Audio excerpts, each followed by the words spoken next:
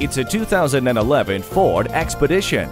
Roomy and refined, it's packed with standard features, including alloy wheels, a chrome grille, leather-wrapped steering wheel, and a premium audio system with MP3 input, adjustable speed-sensitive volume control, and separate rear audio controls. This acclaimed Expedition truly offers the best of all worlds, with supreme power, a cavernous interior, superb handling, and the highest towing capacity in its class. Take it for a test drive today.